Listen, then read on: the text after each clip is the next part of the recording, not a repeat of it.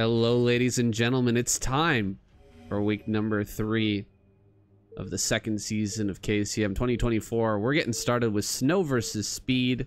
Let's jump into game number one.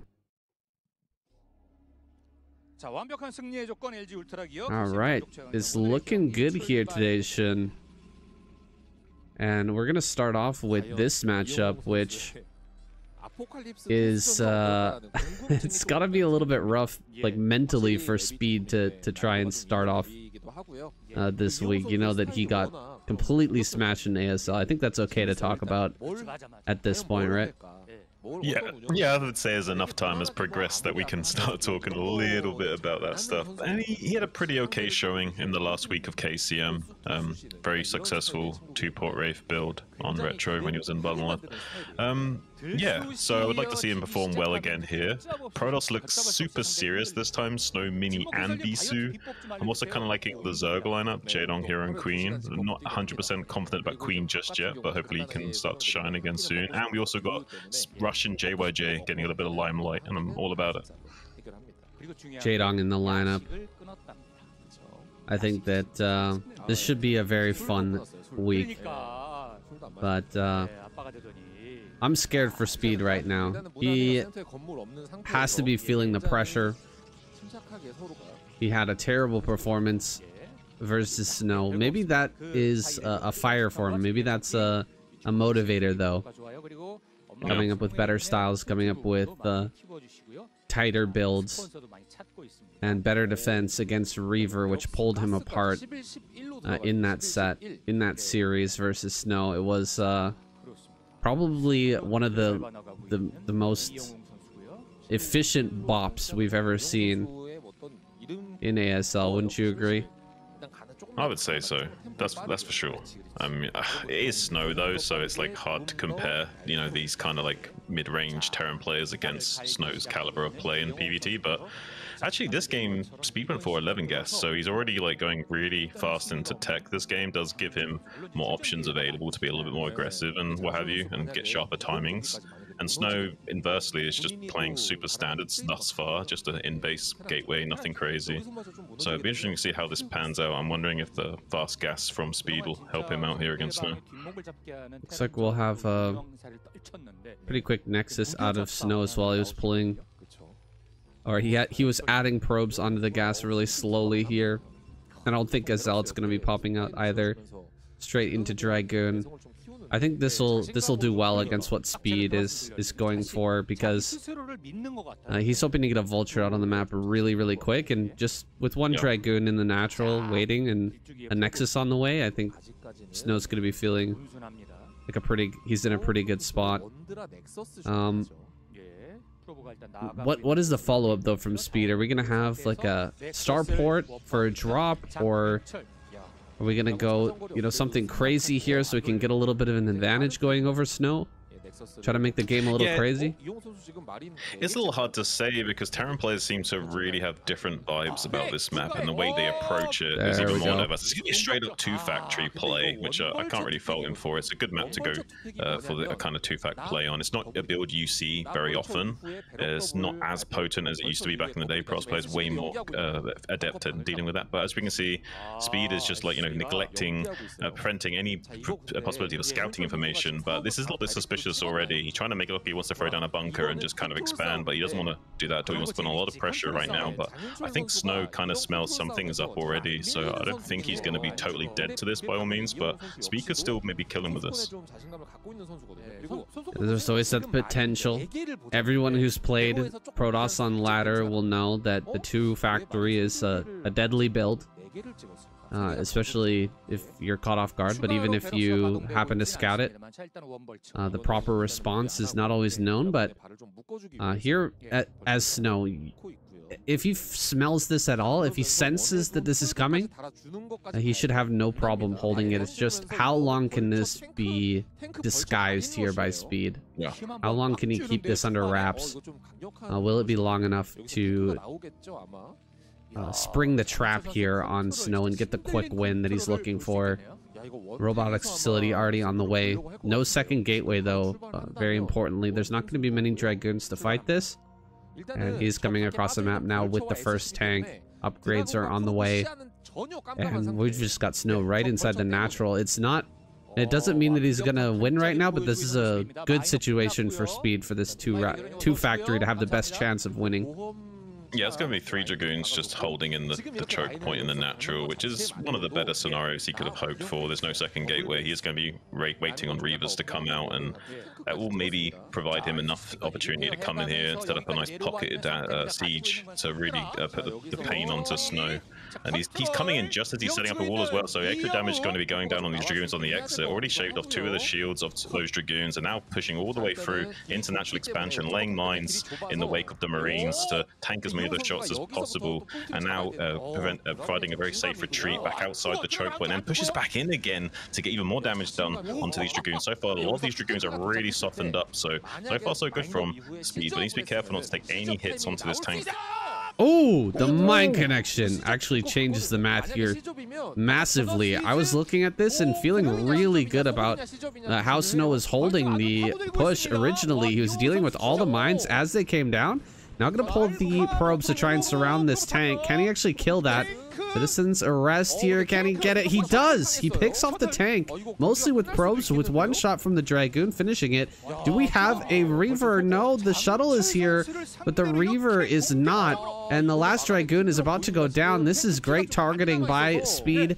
A lot of good mines here as well. Anything that pops out of this gateway is going to get instantly wrecked. Another big mine connection takes out that last Dragoon, and this is just a straight up win for speed. Game number one, revenge for the loss in ASL. The upset here is massive to start out this week. Moving on to game number two, we've got Queen spawning here in the top left-hand corner. Speed in the bottom right on Troy. It's almost time to say goodbye to this map. Shun, how do you feel about that? Uh, it's, it's bittersweet. I mean, on the one hand, it's not a very balanced map, but on the other hand, it gives some pretty interesting games. So, as a spectator, I, I can't say I completely hate it because it does give us some very interesting scenarios to cast and enjoy. But I can see how it's a frustrating game to play if you're competing and you don't want to deal with these kinds of weird, wonky imbalances. So, overall, I'd say I'm happy to see it on the way out, but there is a bit of bittersweetness there too. I uh, definitely agree. I know that I've uh, splashed my fair share of salt on this map. I've um, disparaged this this map quite a bit, but it is better than a lot of the uh, crazy maps that we've had in the ASL in the past and that it's given us a lot of good games. I don't enjoy playing on it. I'll be happy when it's gone. But I hope we get something better for our next crazy map. Uh, and that's not always the case. Oftentimes we're going for something much worse. So um, high hopes for the future, but a bittersweet farewell to this map. Maybe this will be the crowning jewel here. Maybe this will be the the uh, match that we all remember from Troy. Queen versus Speed here with a uh, early pool and an early gas here uh, from Speed. This is uh, going to be an interesting start to this game. I'm not sure who's going to come out to on top on this one. It's an economic 9 pool going up against potentially mech or a 1-1-1 build, and uh, speed is completely walling in, so he's also giving the option here, maybe considering another two-port Wraith play, which is what he did on Retro against Zerg, so it'll be interesting to see if he goes for another two-port Wraith style here, or if he's going to just do it more like 1-1-1 or mech style. He is very adept with that style. I would say he's he's one of the stronger players with the two-port Wraith. Uh, able to get great damage in the early game and has a lot of finesse behind his early gameplay. I think that's um, one of his uh, the reasons behind his moniker, the 10 minute flash. He's just got a lot of good right. early game sense and execution, but struggles in the late game. Now, sending out the Marine here might just be his downfall. One Marine just going to yeah. send out on the map, and as that bunker uh, lands, he will be able to repair through any damage that's coming out onto this supply depot, but he's going to have to pull a lot of SCVs, and it's going to be a while before the uh, Marine is out here able to push back these uh, zealots, so or these lings, excuse me. So getting quite a bit of tax damage is Queen, and now going after the Assimilator. He's going to get this one for sure. Can he get the one on the left as well? Because if he kills both of these, doesn't matter if you're going air or not, it's gonna make life incredibly difficult for speed. Yeah, I think he's going for the two-port Wraith play either way, so he's probably happy with this overall. Uh, mm. Yeah, and the SCV repair was pretty clutch by him, very well calculated. You need about one SCVs per two Lings, but that's not like a perfect repair. Eventually the Lings will win, but it will buy you enough time for the Marine to, you know, make the Lings have to run away and what have you. Um, so he's handled this early game pretty well, what we were saying earlier. That's one of the things he is good at, is his forte. But him floating the factory like this, I don't know if this is a good idea. He's just really just like showing him his full hand like, this is what I'm doing this game. I'm just going to go 2-port Wraith. I don't know if this is the smartest of the things here from speed. Well, he can't he can't build the Vulture inside the main because it can't get out of the natural Maybe anymore. Vulture drop or something. I don't know. Like, it, just it just makes it just makes it like oh, I don't know. Maybe maybe it's okay, but I, I, a little bit about it makes me feel a bit yeah. Well, look at how quick this Hydralisk Den is. Maybe you're right. He just knows. Like, okay, well, two-port Wraith. I'll just build Hydras, counter this completely, and yeah, just just build what four Hydras here, and then just drone heavy. Uh, I think that's gonna put you in a great position as a Zerg player. Gotta pull back these Overlords though. Looks like he is slowly pulling some of them back. He lands to try and build a Vulture.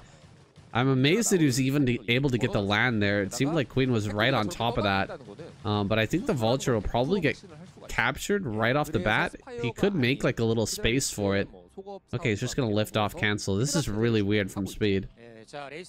Yeah, I was a little bit confused about the factory play. I guess if Queen was playing worse, this Vulture play would have made more sense. Um, but uh, we'll see how, what happens uh, in the main base. So far, uh, not really any drones being killed, just softening them up a little bit, and the Hydra timing is going to be pretty much effective enough to avoid any losses for the time being, besides maybe some overlords going down to micro. One just did fail to micro there, but did take a lot of damage on that Wraith as well, so but yeah, I would say overall this is pretty pretty good defense from Queen. He's going to lose a total of two Overlords because of this one out on the map as well. Uh, as long as he made a few as backup, so he doesn't get supply blocked for like more than a, a minute, then he's going to be staying fine. Well, this is still a little scary. Losing two Overlords uh, so quickly, so rapidly like this. Uh, he's not going to be able to make Hydras or uh, drones, and there's only one Hydra in the main base. If we come across the map with four Wraiths right now, uh, the potential for some damage. Now, he's going to come out and build a barracks or a bunker here on the high ground. Start his CC in a moment and defend with the Wraiths and Marines until he gets that online. I guess he's planning for a longer game and Queen will have to take a third base.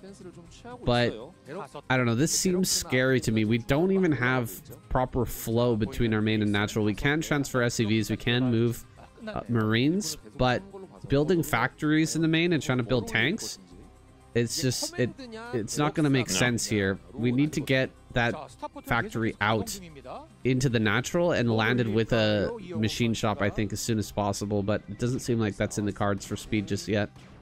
I think he's worried about the Hydra bust potential. He knows that Queen is the kind of player that would be tempted to make like 12 Hydras as soon as possible and try and just run into your base early game. He, he does do that kind of play sometimes, so he's a little bit wary of that. Queen instead just being a bit active in uh, keeping the Wraiths at bay by trying to put on some pressure, but it's like Speed's not buying anything that Queen's selling. He's just going straight for Queen Snatcher right now.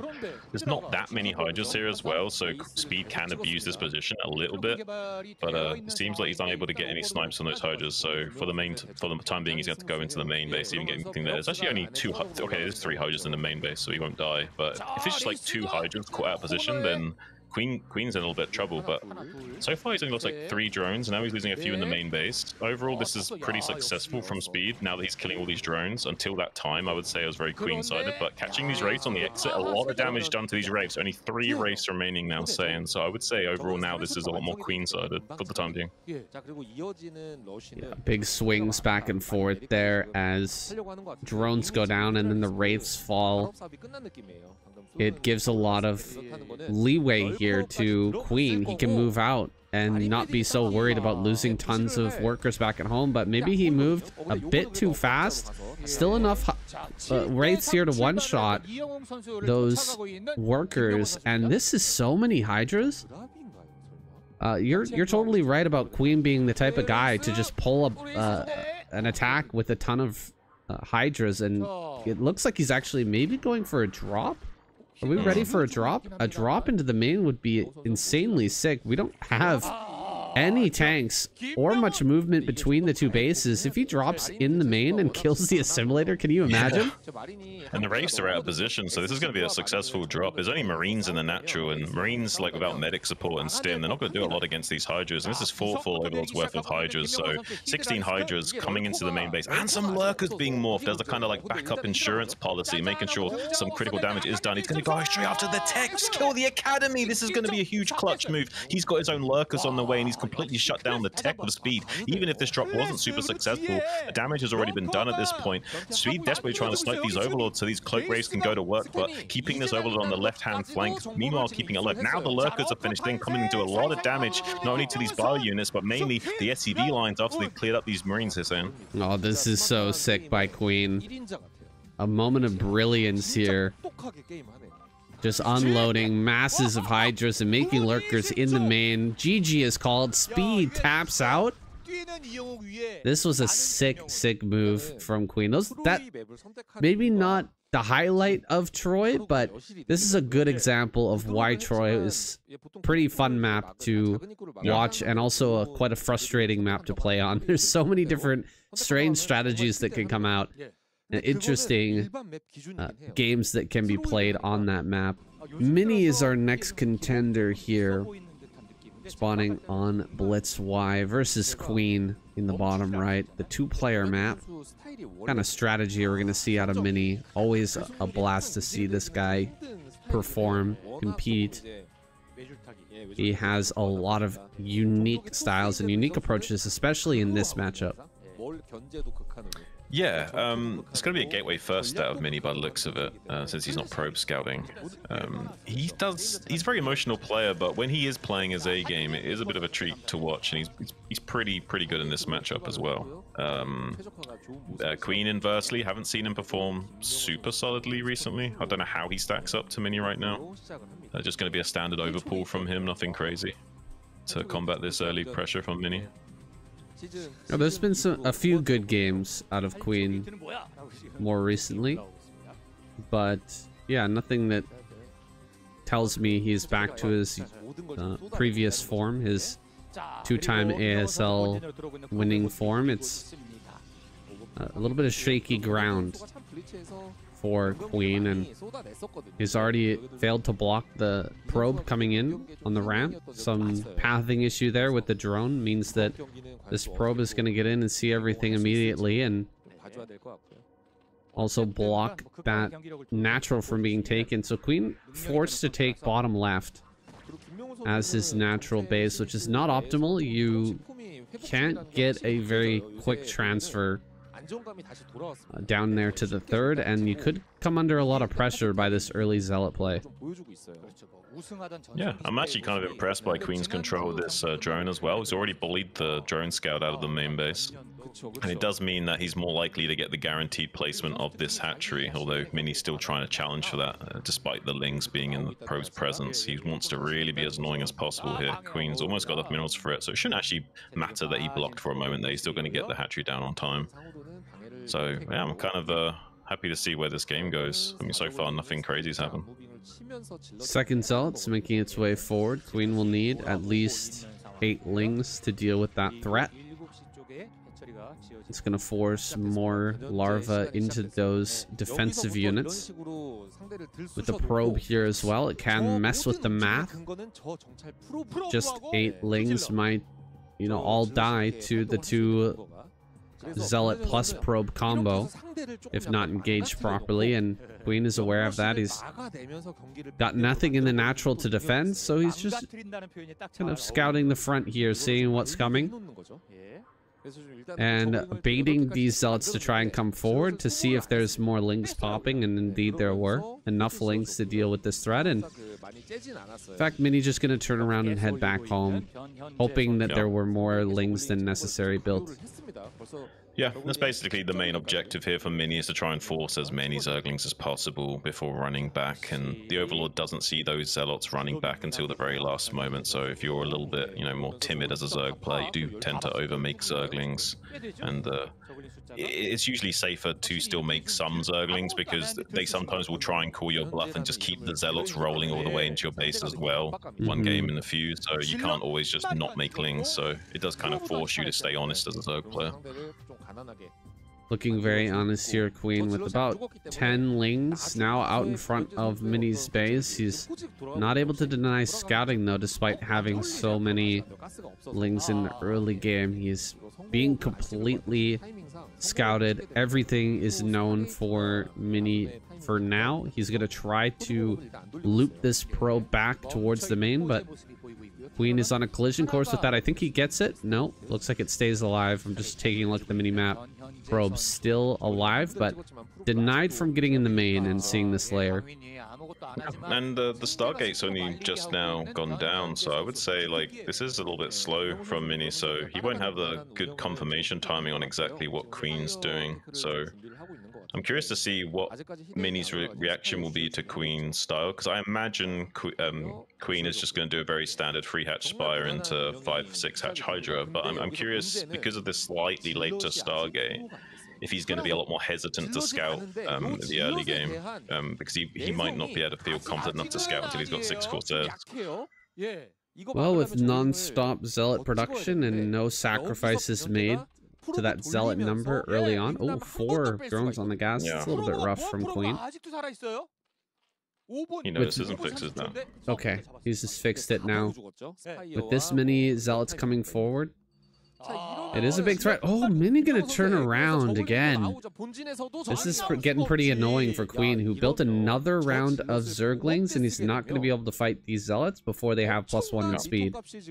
Yeah, so just to break this down into fundamentals for all, all range of our players, this is really annoying for Zerg, because they don't want to wait for the plus one to finish on the Zealots, and then they can start two-shotting the Zerglings and kill them more efficiently later on. They want to force the trade as soon as possible, so it's annoying for Zerg if they don't get a good trade with these Zealots before that the upgrade becomes relevant. It does look like they will be able to get a pincer around on these Zealots from both sides, though, Sam. Yeah, this is uh, overcommitment here from Mini, and he's going to get completely surrounded. He's doing the best that he can to take the uh, most inefficient up uh, engagement for the Zerg player, but looks like in the end, all the Lings will go down, all the Zealots will fall. And yeah, not really getting too much out of those early zealots. Now the follow-up push, when that plus one is done, is not going to go very well for Mini. He's going to have a lot less zealots for that follow-up attack, and he just killed two overlords. You know what? I'm. I, I feel like this is completely even right now. Even though we just saw all the zealots go down and Mini can't really do too much pressure, he got those two overlords at a pretty important time. Yeah, as long as the Corsair makes it back home, well, it's getting cut off. Trying to track that down. The Scourge have such bad vision range. It's really, really tough to, to catch this. It's almost impossible to find it. And it will make its way back home. So yeah, what I said stands. This is this is uh, pretty darn even. Jumping in here with two Zealots. This is kind of a funny play that Mini's doing right now. He knows that it's unlikely Queen would have made any uh, additional lings after taking that fight and killing off every zealot. So he sends two more zealots and tries to get in here, but I just pop out at the perfect time. Handled those zealots and hardly any damage comes on at all. No drones dead. Yeah, it's a nice idea. I mean, a weaker Zerg player might have been a little bit slower in their macro cycles. Hydra's a little bit slow in uh, popping out the eggs, and maybe you catch a few drones and what have you. Uh, and yeah, it's a good good timing from him to try and exploit any window possible. Now we see the Corsairs coming out in a bit of a stronger force. Now at a count of five, we'll start killing these overlords much faster. So Queen will probably want to pump up to about one half, two control groups worth of Hydras um, after these rounds of drones now, because he's going to want to make sure he's like super safe against the Corsairs and super safe against any Zealot Templar that comes his way in the time being. Well, you know, that earlier engagement with the two Zealots, it's such a small Zealot force right now. Only two Zealots here, three Zealots maybe total. Trying to come into the natural. Look at how weak this push is for Mini. This is all due to the earlier Zealot kills, but Uh, it was a gamble play from Mini. It didn't end up working out, but I, I understand the thought process behind it. You know, you're talking about a weaker Zerg player might have missed that macro round. Also, maybe you know he might have gotten lucky and that two over those two overlord kills might have uh, supply blocked right. and forced queen not to make those hydras so you know he might have gotten a little bit more damage but queen luckily got the Hydra started before that supply block came through he had extra overlords uh, in production so he ends up uh, flowing directly into hydras without any bump in the road and now he's in a really good spot with quite a lot of Hydras. A Sunken Colony here as well, and multiple Overlords just in case the, the uh, first Overlord gets sniped. He's not going to die to DTs here. Yeah. I mean, it's a nice, it's a nice effort from Mini though. It's like you lean on your opponent and wait for resistance. And as soon as he provides resistance, you kind of let off a little bit. And that's kind of like StarCraft. You keep leaning on your opponent until he shows you weakness, then you exploit the weakness. But if they show you resistance, then you just back off and wait for another time, right? Mm -hmm. Don't see any weaknesses here for Queen at the moment. Neither does Mini as he scouts the main. Plenty of forces around and he's ready for anything that might be thrown at him and starting to move out on the map with a small group of Hydras and an Overlord in tow. Just gonna come in and check what Mini is up to. Mini has enough Zealots to deal with this, but uh, this is a fast force of Hydras. They can easily fall back and uh, run away from the Zealots in case there's a full-on engage. Yeah, and the theory behind here with the Hydras is you, at this point in the game, they're not going to have that many Dragoons, so you know it's purely a Zealot Templar threat, and you want to engage that out on the map and micro back away from the storms. You don't want to wait for them to come to your side of the map and start storming you while you're already like, you know, stuck in your own Sim City and you, are losing units and drones and you can't get your own surface area to fight the, the Zealot threat. So this is really smart from Queen to be active out on the map with the Hydras at all times at this stage in the game. Yeah, absolutely. And I just saw on the mini map, I believe it was the DT went running into the Hydras and died. So those type of little pickups can only happen if you're active on the map with your Hydras. And like you said, necessary to do this if you don't want to get stormed in your natural. You can't be hiding behind your wall. Uh, at this point in the game, the Templar threat is too real. Lurkers running up here getting on top of this catwalk and into a very nice position. No, oh, oh my god, the storm on the left-hand side cannot be coming up that ramp there.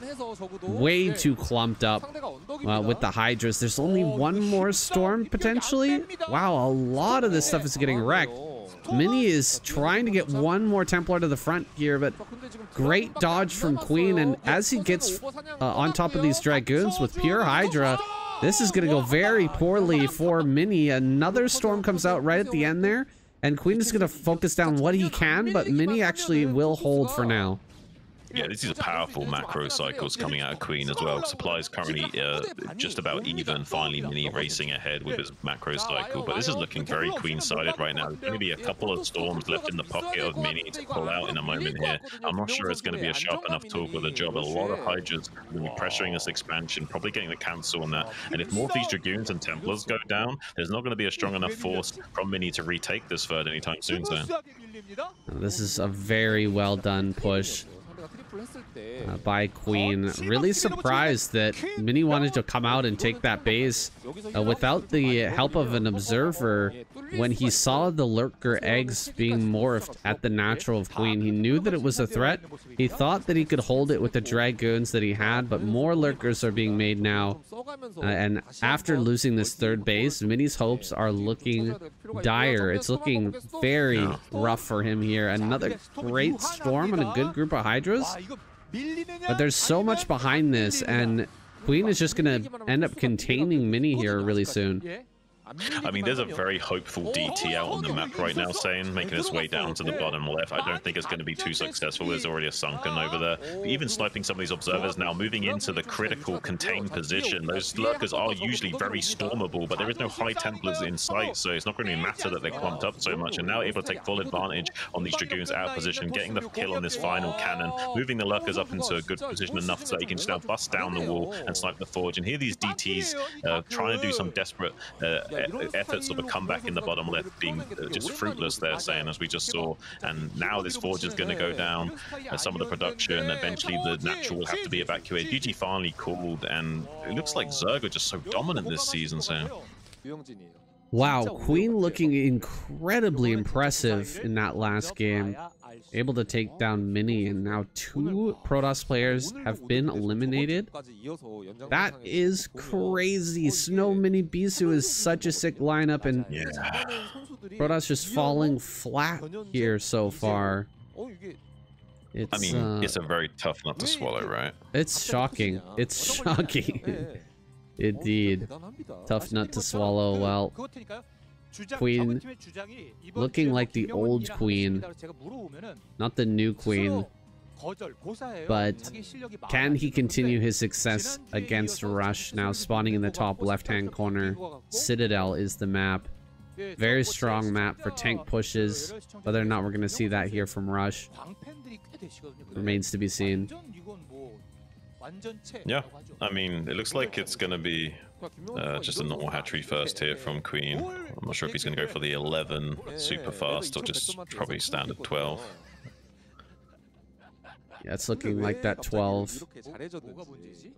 Uh, hatchery. One way that Terran players I've noticed have been uh, countering this 12 hatchery play rather than going for 8 racks. Uh, I first saw it Flash doing it on ladder, but he's been going for CC first, and I I haven't seen a lot of CC first uh, until recently.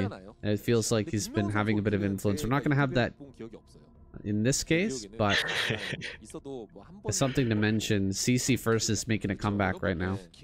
Yeah, Flash is the kind of guy where he, he looks at the meta and he has this kind of internalized. I'm not. It's probably a subconscious thought, but he's probably thinking to himself like something along the lines of like, I don't follow the meta, the meta follows me. He'll do whatever he wants, and eventually what he does will trickle into the meta rather than the other way around. He will obviously look for the problems, and I think recently he was having problems upgrade Terran against Protoss, and he's re recently been figuring out, okay, I need to, to make more factories and go up to seven factories before I start my my fourth CC. And he's going to make those kind of micro adjustments to like really figure out the game, and he'll hit timings that you are not prepared for. He'll he'll go for uh, styles that most players don't go for because the windows to abuse your opponent are so razor thin, and your execution has to be so high that it's usually not worth it. But Flash makes it worth it, and that's what's different about the guy.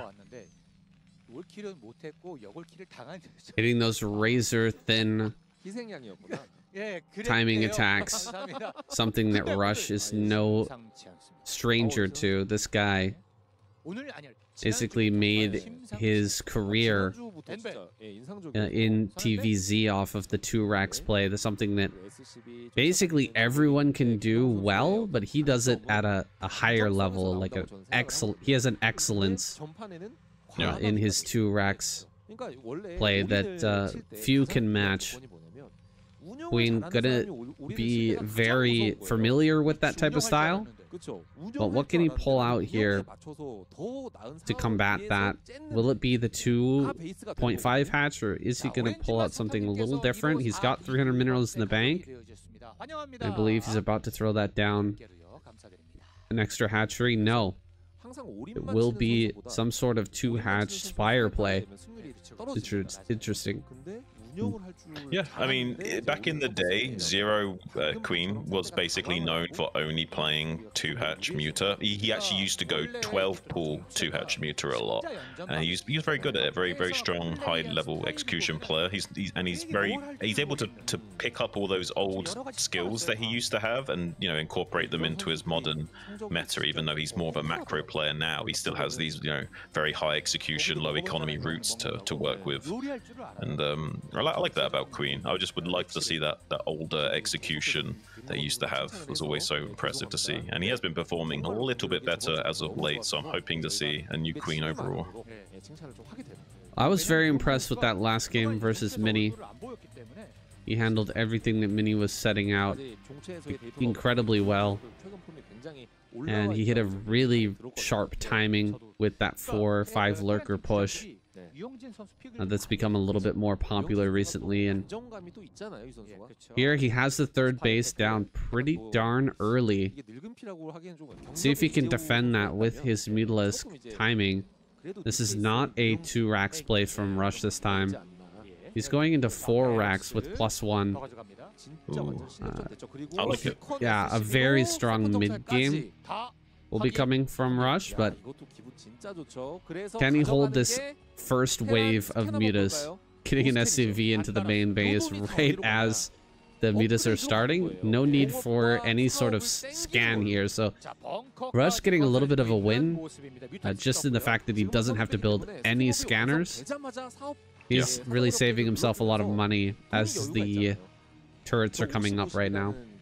Oh, it's a big win. He's, ba he's basically just going to cut SCVs anyway, but then he's also gaining the minerals that he doesn't need to make the comsats with, didn't have to mine as much gas and what have you. Like Everything is just so much smoother for him as a result. So we can squeeze out the turrets despite still going for a high production style of 4-rax. It does mean he's got a lot less SCVs overall, but that's kind of how players like Light and what have you like to go for. They, they, they're much more lighter on their SCVs and um, much more heavier on the amount of units they've got and the, the timings they can hit. And Terran's all about hitting those mid-game timings to abuse a Zerg. That's what uh, makes and breaks great Terran players in this matchup.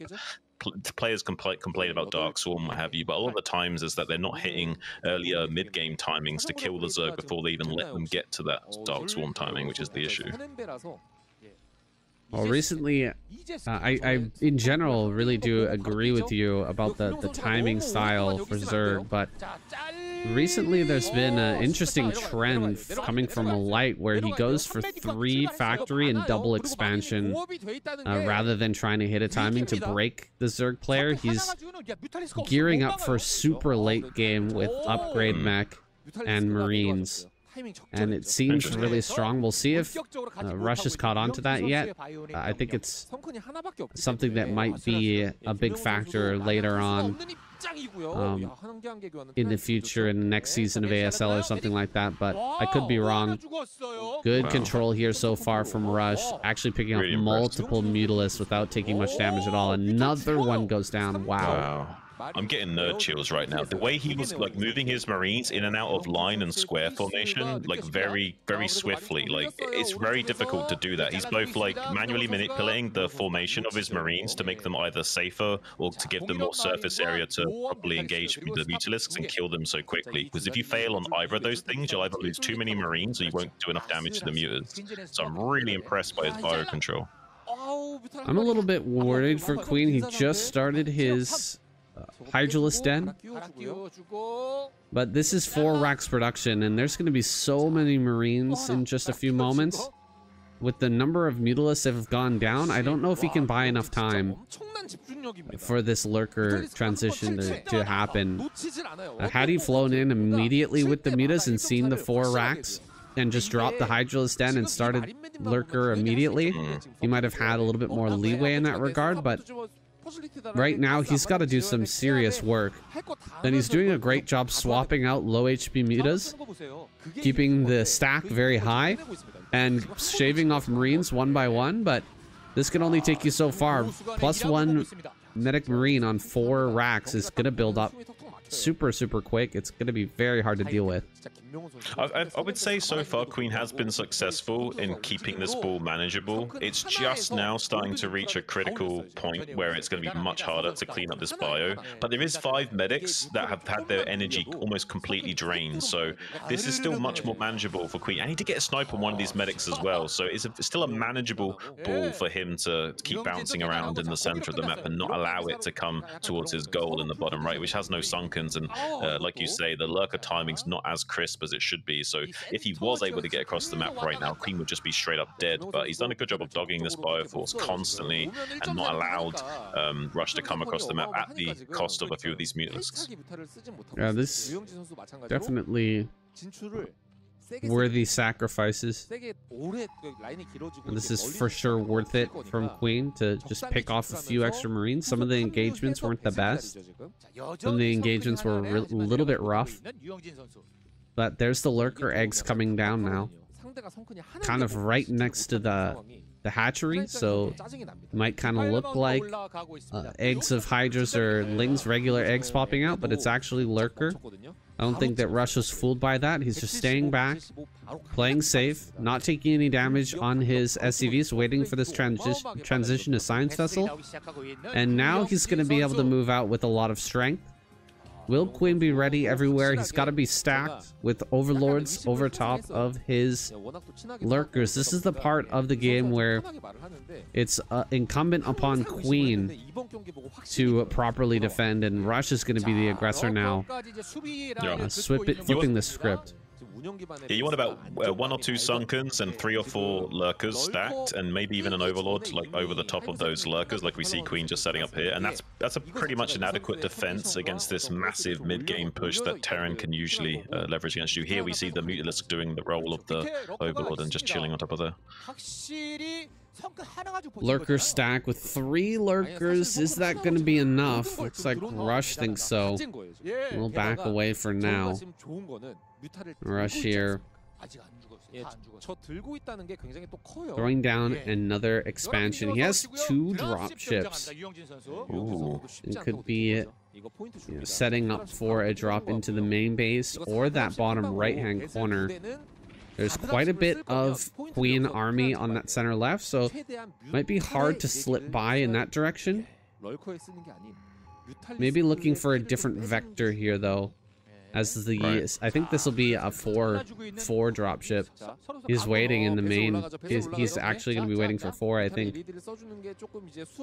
Yeah, if he if he goes all the way up to four, it's going to be super crazy. But so far, Queen is being super active with these Mutalisks. That it's really delaying Rush going for that Gambit because he knows he can't just come down on the vertical vector, and he knows that he needs to know exactly where the Mutalisks are for those drop ships to not just straight up die. Beautiful Irradiate's coming down on there, and the, the, the split's pretty good as well, but but some damage was still done to that Muta stack, so it's now probably softened up enough that Rush is going to feel a lot more confident in just going wherever he so pleases, and now we're going to see the dropships move out. I'm only seeing two dropships. I'm not sure where the other ones yeah. are, or if they were made at all. Going directly so. into four bases is Rush, and we might truly see what I was talking about earlier, which is exactly what Light did uh, in not trying to break any bases, just getting irradiates to, to get some damage, maybe go for a little drop here and there, and then switch into a massive tank army. Dropships are going to be caught in the vision. Wow. Barely saw that. I don't, I don't think that he saw it at all. Um, this drop is probably going to get off in the bottom right, but there are Scourge available, so let's see if he can get this uh, into the base. Oh, he's going to catch this. One goes down immediately. Only a single Marine makes it out of that one dropship, so this is going to be much easier to hold. Yeah, there's only one lurker here for the time being, so with a with a scan and stim, he can still clean this up and be a little bit annoying. But eventually, this this drop this drop will probably be a failure. Some things are coming in. Yeah, it's unfortunate. Uh, I don't think he needed to dark swarm there, but um, yeah, it's, it's a nice cleanup by Queen, and he's going to go straight up to four gases undeterred. And the 12 o'clock has also been denied by Queen of a counterattack of Ling, so won't be able to see like super fast BCs uh, uh, as as early as he wanted to. he did want to go for those BCs, like we see there, the physics lab. So it's much harder for him to squeeze out these critical units like the battle cruisers and vessels now without that third gas can be coming online. Ooh, counterattack from these Mutas and Lings, but the Marines are standing strong plus two, plus one is online for Rush. Hasn't been able to do any damage, though, direct damage to Queen. And that fourth base in the bottom right has a lot of hatches coming online right now. We've got a couple of extra hatches down there. with that gas rolling, more drones being added on, this ultralisk transition is going to be very, very scary. Yeah. Yeah, he's going to make like a massive round of ultras. You'll have like six or eight ultras kind of rolling out all at the same time soon. Looks like we're still going to be having a continuous threat of dropships uh, being leveraged by Rush, seeing if he can come down into this bottom right pocket of the map and break open Queen. But the longer this game goes on, the, the more set up Queen is going to be able to be to respond to these threats. Already the Nidus Canal network there, so if he's got units just waiting on standby to jump in that, he's got some Scourge here waiting on the periphery. And the Irradiate does come down to the Scourge actually, denying that snipe on the vessel as well. Really well timed to not lose that vessel. And now the drop's coming in. There is a Dark Swarm down here and some units to kind of walk this away. But honestly, like if Rush is clever with how he positions his units, he can still be really annoying down here. Yeah, he can definitely be annoying, but the longer uh, the later these drops come in, the less annoying they're yeah. really going to be. He's not going to get too much damage with that. Eight kills on that one Firebat, I think most of those were probably Lings, though. And this army is probably not going to do too much in the main base. You will find a little pocket with no Dark Swarm that he can abuse for a moment, but as soon as another Defiler arrives, this uh, hatchery will be safe, and that fourth will be operational once again coming in with the science vessels. It's a bit of a bold move for Rush to keep these science vessels around because the Marine Medic army is so small. If it suddenly gets surrounded and a bunch of Scourge come, you can very quickly lose your entire science vessel force. He does back away though and gets his science vessels together with the rest of these oh that plague is disgusting. With the rest of these uh, marine medic so he's not going to lose them all immediately. Muta's coming in to pick off a couple of those science vessels but that's not the real threat right now. The real threat is all these ultras in the main that have just popped out. This is so many and he's just waiting on another upgrade and some speed to come through for these yeah, when you when you don't play crazy Zerg and you play more standard Zerg into Ultras like this, you don't want to be too aggressive because your upgrades are actually quite a lot slower than the Terrans, so usually you're just chilling for a bit longer to catch back up into the game. And the Terran's plus three weapons should be finishing up in about 30 seconds or so as well. So even though he's got full one on these Ultras, he knows the plus three weapons upgrade for the Terran are going to be coming online in just a moment here as well. Another drop down into the bottom left, but three Ultras should be able to handle this. Plus a Defiler as well. There's the Plague. Oof.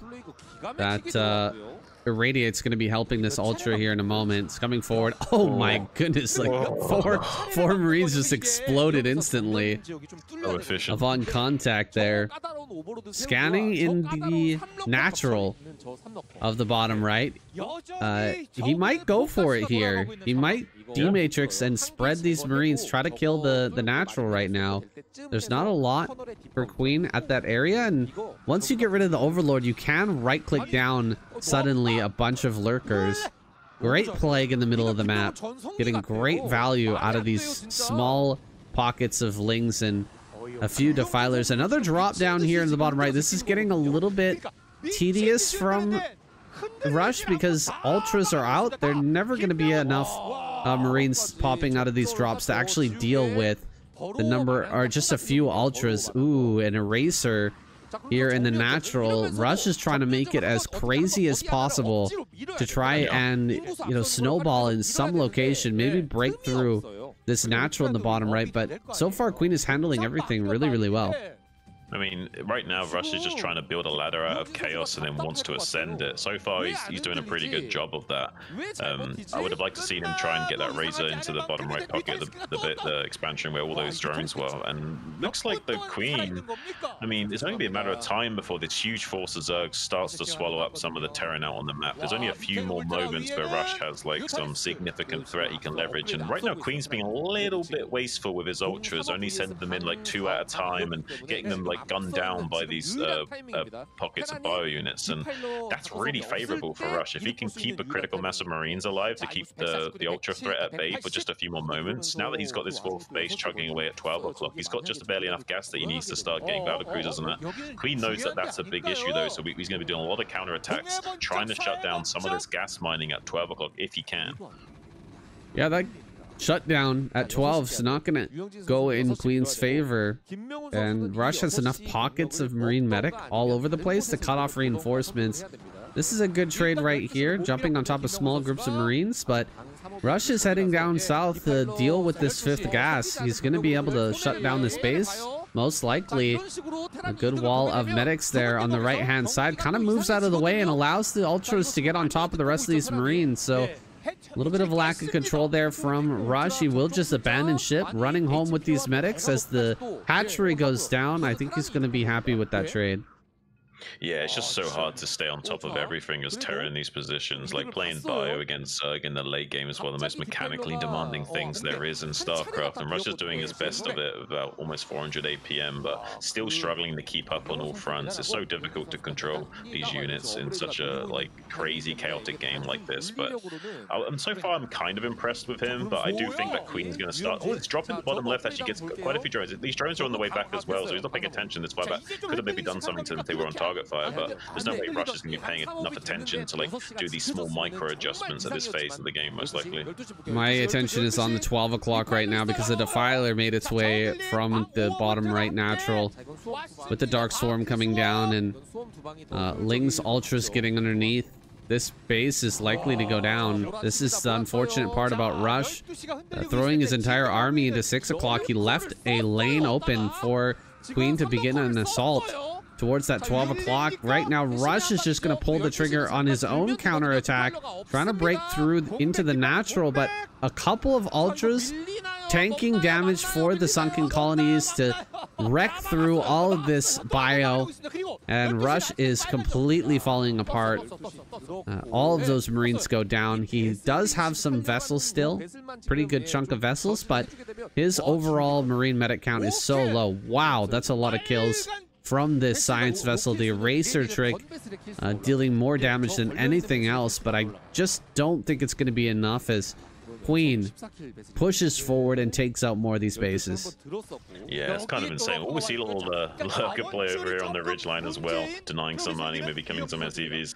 Yeah, it's really unfortunate. I really do advise Terran players to put like a fire bat or two in those bunkers at those proxy expansions, just so they've got some protection against dark swarms. They can't just get overrun by one defiler and a control group of lings. The eraser tricks might come in clutch if the game drags on for much longer, but he's gonna have to do a lot more than just kill a few drones if he's going to um, take Queen out of this game completely.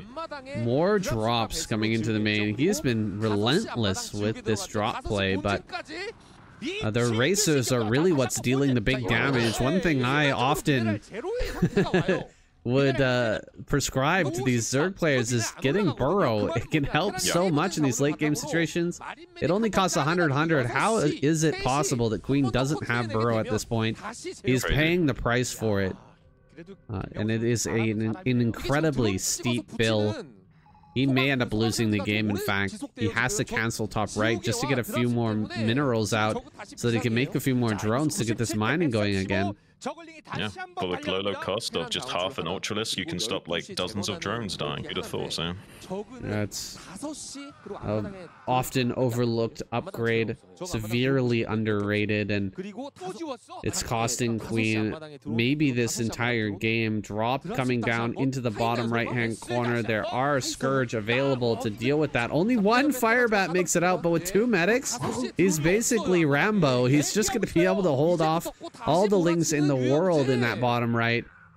Well, maybe not that many lings. Let's see if they can get this around. Meanwhile, Marine Medic breaking through at the natural. A counter attack coming onto the final mining base of Rush, but a Defiler gets sniped before it can throw down any Dark Swarm or any spell there at that natural. And that might actually be the breaking point. Rush is smashing through. There was no Plague. There was no Dark Swarm to keep these Ultras alive. And look at this. He's losing the very last couple of ultras that he has. Another uh, racer trick coming down here to deal with these last few drones. A few more lings pop out, but this tiny little special forces uh, group of army is clearing out everything. Queen has one more mining base over there in the center right. And with a few more ultras popping out, he might just barely be able to hold on, but this is so, so close. Yeah, this is wild. I mean, I, I think Rush's just barely done it, but by the skin of his teeth has he done this. Like, this is kind of wild. The Queen can still actually uh, mount a comeback, which is very tricky. Oh, the, the catches on these vessels are actually critical right now. If he kills, yeah, this is really, okay, it's a huge play from Queen. That's the only thing that maybe gives him a, a decent-ish win chance in this game, but it's still going to be a rough time for him. There's also a few more Scourge out that can deal with the remaining vessel or two as well. And he's got such little mining right now. Um, he won't just like straight up die maybe but i think rush's still done it. Rush's done just barely enough critical damage that maybe queen can't stabilize here. I don't it's hard to say. Well queen just killed every drone at the center right or sorry rush's killed every drone of queens at the center right with just one eraser trick. And now the nidus is going to fall. The bottom right hand corner has basically all the drones in this game. We've only got 38 supply, so this is this yeah, is like 10 supply of drones uh, that's just about to fall. Um, center right gonna be harassed by a fire bat. It looked like we might be able to stabilize, but now that Rush comes across the map for this counter attack, we can see Queen is out of this one. GG is called as he taps out. Rush takes an incredibly high octane game there. And he gets a clapper. Okay, final Protoss player of the night, Bisu. Spawning here in the bottom right hand corner, Rush. Hot off that last victory. Man, was he looking good in that game. Yeah, he's hot off the press right now, and it's a good read as well. If you want to go and study up on how to like beat Zergs, like this is a good guy to watch. He, he most most times you'll see players just kind of like wait for something to happen and then try and exploit it. You have to think a higher level than that to be really successful in Terran versus Zerg. You have to create the points of weakness, lay siege to the Zerg for extended time, and over a minute or two minutes of laying siege to the Zerg and creating this chaos and opportunity. Eventually, the opportunity does present itself, and you can exploit it. Personally, I thought Rush was in a very bad position after losing the 12 o'clock.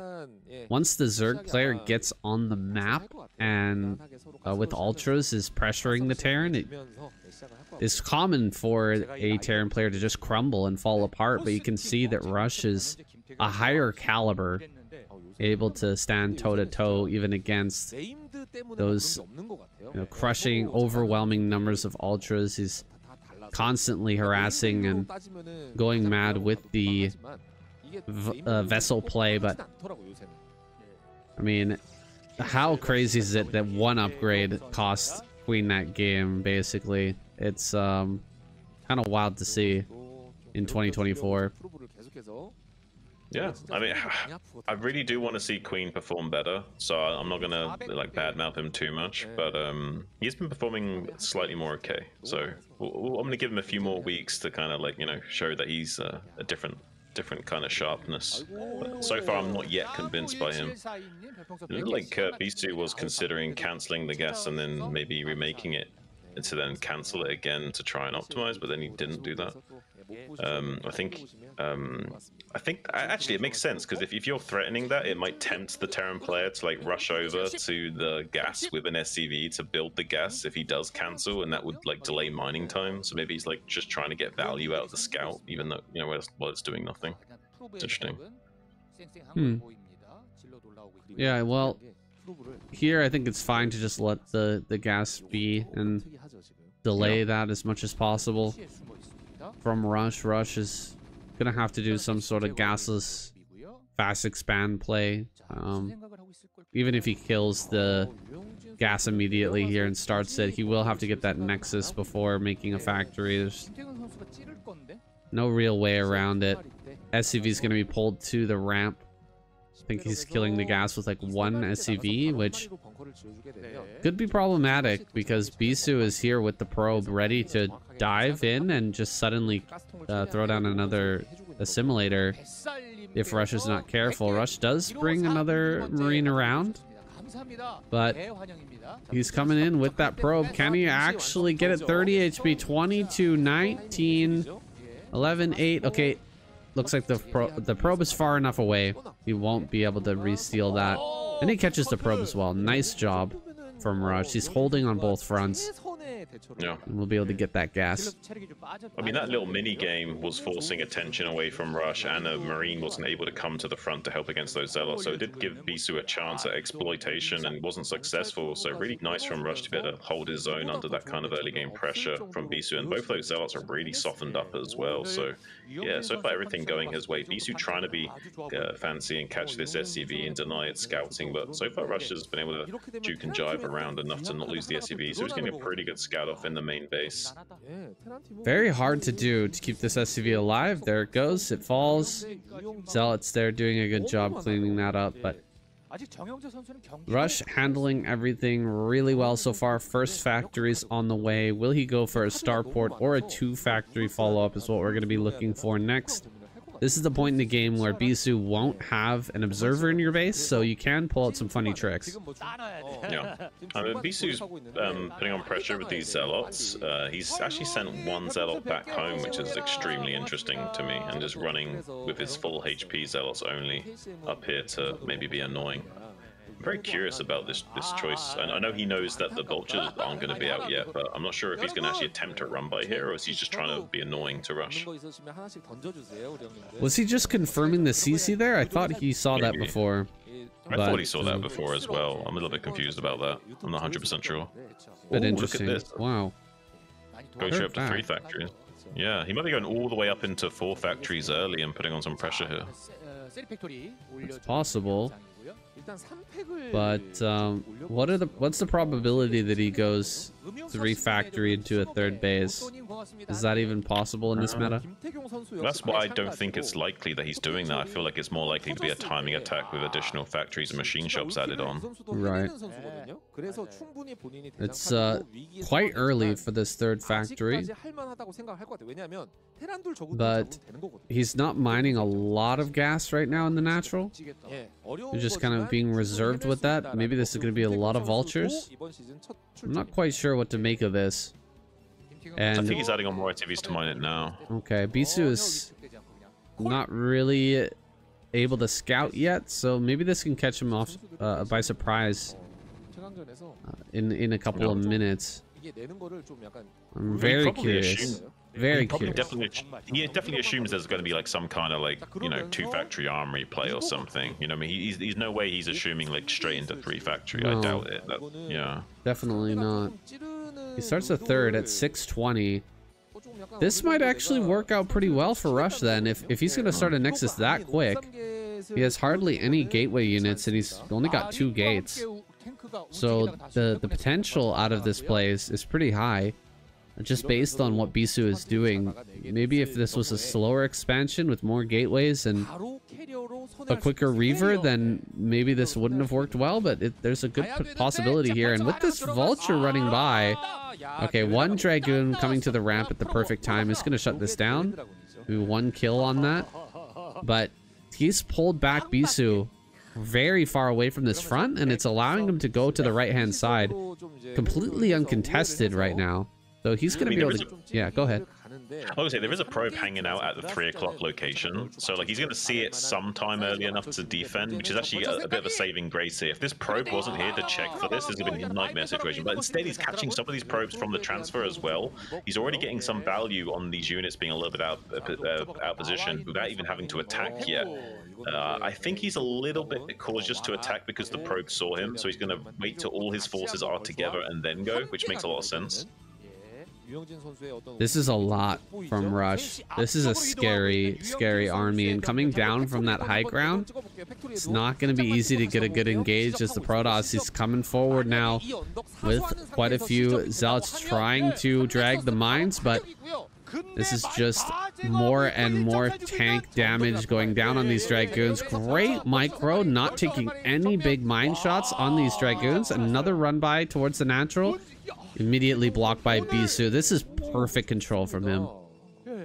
Yeah, I mean, so far he's mitigated a lot of disaster. A few of the probes have been sniped on the transition and what have you, but overall there's no disastrous damage that's been sustained from him for thus time being, and he's also still warding away any future potential threats. Though these tanks are trying to be really sneaky and come down here into probe sniping range before the Dragoons can get back over here, but he might also lose these Dragoons for this effort. Loses the tank this effort. I think he's going to lose the tanks for sure now. He has a pretty good spread of these Dragoons, and with just four remaining, it's enough. He's gonna lose yeah. one of these, so he can't two-shot anymore, but the tank's going down is huge. Losing these Dragoons means nothing. He's got three Nexi pumping away. There's a late armory for Rush, and no third base just yet, so...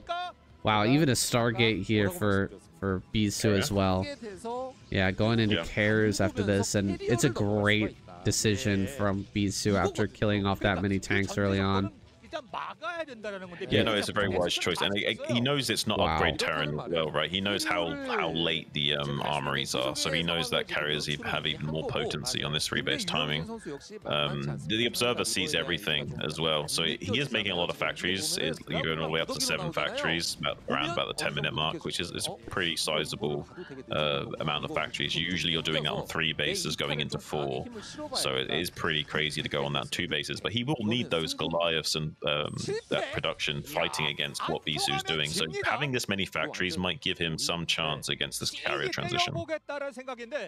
I, I thought Bisu might cancel the carriers actually after seeing uh, the seven factory play. He started three Stargates. Yeah. That seems wild to me. Uh, this is definitely an all-in seven fact uh, from Rush. It's not going to be nearly as strong as a normal seven factory because we already lost three tanks and so many vultures. It's going to be a bit nerfed. But he's going to push out with a lot of tanks, a lot of ground forces. And Bisu's not going to have much more than a few Dragoons to deal with this initially until those carriers come out. His speed on Zealots is going to be very slow. He's only going to have maybe one shuttle.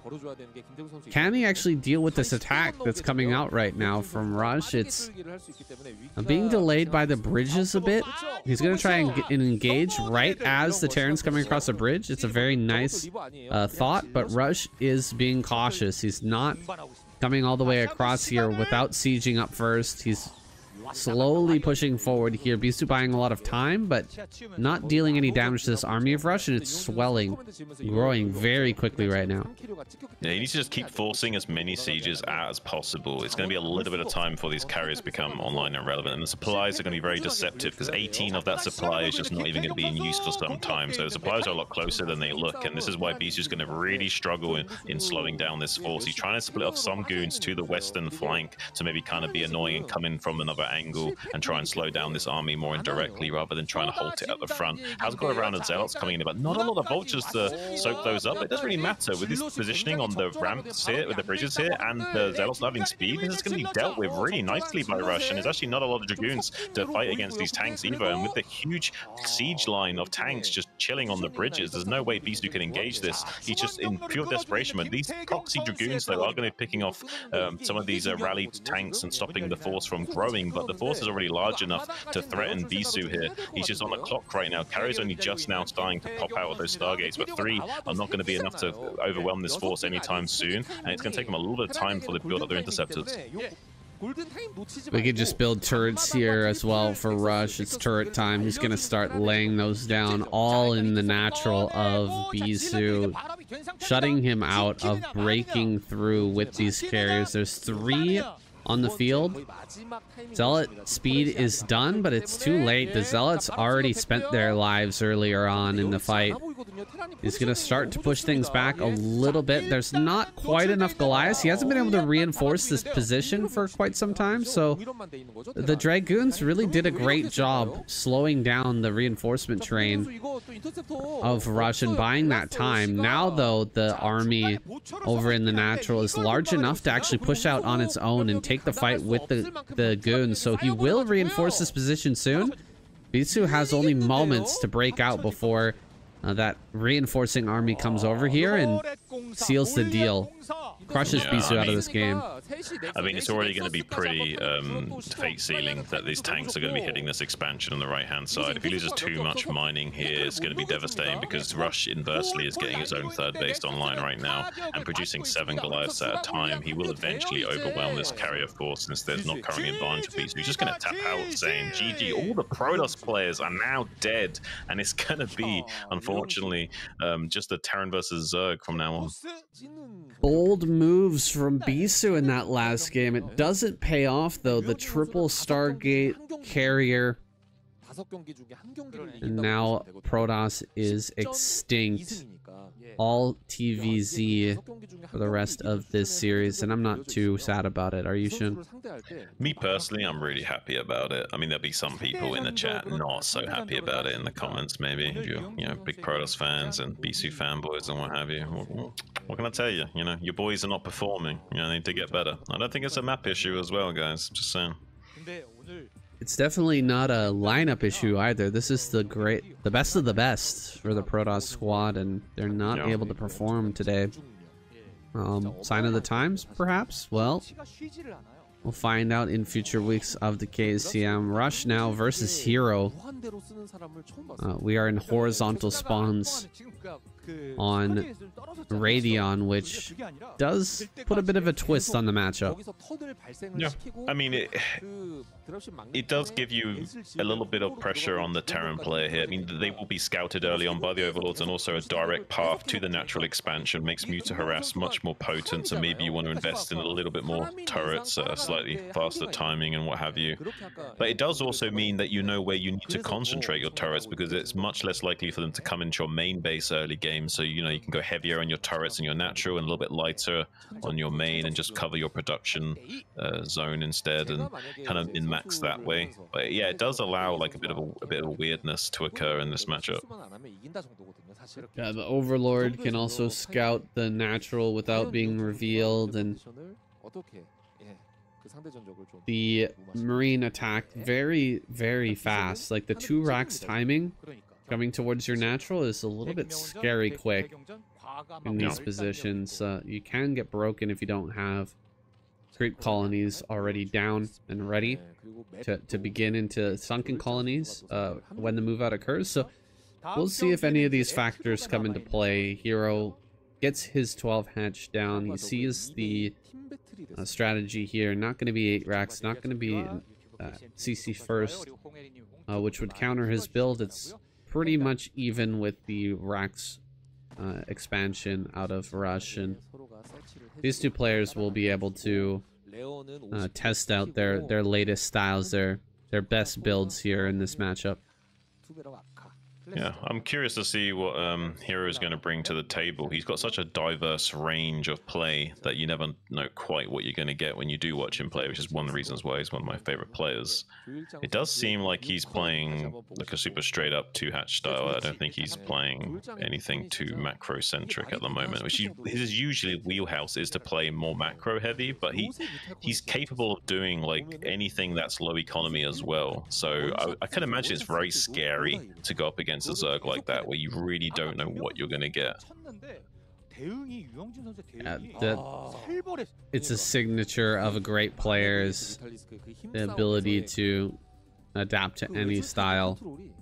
He's uh, got a great overlord position over this little space area just outside the natural. He's watching Rush's Marines very closely, seeing if a naked Marine move out is, is going to be coming.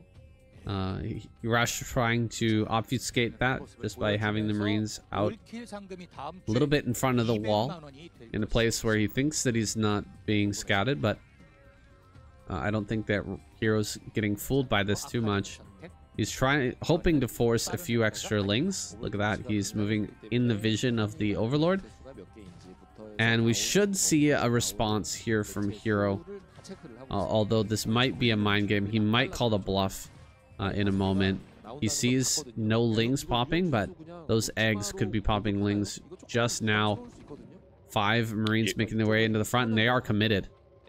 Hero's trying to um, bluff um, Rush as well by showing him only two lings oh. and then coming in with more and going in for the drone surround as well. Really clutch play from Hero. Look at this absolute handsome fancy nerd saying, like, can you believe it? Like, the way he baited the Marines in as well, he acted like he didn't know he was in trouble, and then, like, shows him the two lings, runs back, and then baits the Marines to commit to the attack, and then go commits to the drone surround before he, he knows it's time as well. Yeah, it felt like he was baiting there with those two lings. Like, he definitely knew that they were coming, that the Marines were coming, but he made it appear that he didn't. Right. Um, it also looked like he kind of botched the movement on the lings, like the two lings that popped in the natural didn't join the fight initially, but he was just focused on getting the uh, drones into a good surrounding position, uh, less focused on the lings there, and it ends up working out perfectly for him. So Hero in a great spot now going into this two hatch to play. He's built the bare minimum number of lings and he hasn't lost any drones. So uh, after killing a few Marines, he's going to be able to put on a lot of pressure to rush. Oh, absolutely. And being able to set up this third third base at the bottom right, natural expansion, like it's so far away from rush to attack. It's such a long rush distance, the longest rush distance we've got in StarCraft Radiant Cross map. And going to be coming to base with these Mutalisks and stalling out the turrets before they can be finished as well, and getting a few um, SCV snipes before having a real high number of Mutas. He's doing a lot with a little right now, is Hero. And um, that's a really annoying for Rush because, like I was saying earlier, he's committed a lot more to the natural turrets rather than the production area and the main base. And the, because the timing was off by a few seconds, is given a nice little window here for Hero to exploit. And now he's got enough to come into the natural and start one-shotting the SCVs. He's already killed about four or five SCVs. He's going to come in and get this turret. Now opening up the position to really abuse the mineral line here for Rush. Rush struggling with what to do at this point. He's going to send Marines out on the map while Lings run into the natural and start to kill these turrets. Uh, Rush is going to go across and try to force the Mutalisk back. So far, it's successful. Hero does back away, respecting the uh, marine attack that could come into his natural with no sunken colony there. He needs these mutas on that defense. And the lings in the natural get cleared out after killing just one turret. A pretty decent response here from Rush, but I really feel like Hero has the momentum. Yeah, no, that's that's for damn sure saying. I mean, Hero's the kind of guy where if you you, you know you, you, you, try and give him a dollar, he'll take your identity and take your entire bank account. You know, you, you can't give him anything here. Just look how easily he's able to mop up these bio units as well. It's really exceptional to to to watch him play. Like he's, I, I think he might be the contender to win the next ASL if we don't see Flash in full dominant fashion. Now he was a contender in the last season. Had a few uh, pitfalls, but maybe if he cleans up his ZVZ uh, and you know gets it as strong looking as his ZVT, could see him take this next season of ASL. Hero will lose a muta here in the rally. It looks like no, he pulls back. Has a good number of damaged mutas kind of sitting over there at that position, and he's gathered together uh, a pretty scary force of Ling Muta to potentially run this bio ball over. Rush being very careful and continuously uh, reinforcing this position. He's getting he uh, he looks ready to run back into the natural. If I'm being honest, he looks like he's a second away from, you know, if Hero pulls the trigger, he's just going to run for it. Um, but yeah, here comes those army. Yeah, he is just going to run for it. He's going to try and get into a better position where the turrets are going to be able to help out.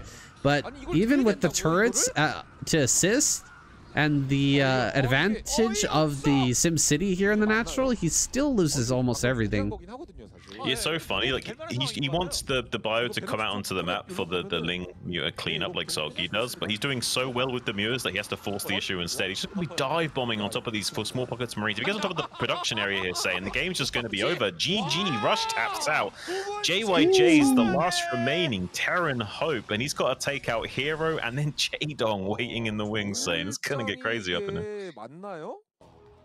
Wow, Hero looking fantastic in that last game, but it really comes back to the donation he gave to, or that Rush gave to Hero uh, of those early Marines. And like you said, with giving Hero a dollar, he'll just take it all. He'll take your entire life.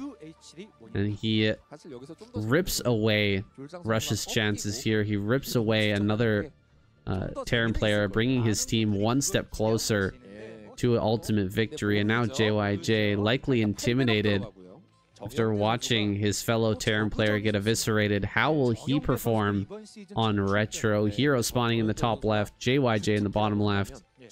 Let's go into this potential last game.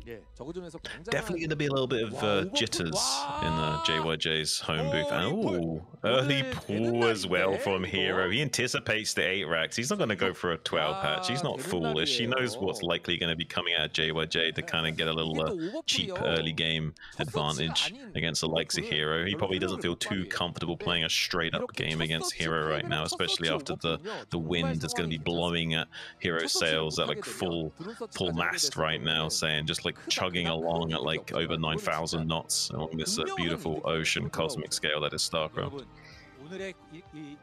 This map, Retro, in close spawns, the opposite of that previous map with the Radeon uh, being one of the longest rush distance in the game of StarCraft, one of the longest map rush distances that we have. This is a very short rush distance, so a great decision by Hero to go for the earlier pool.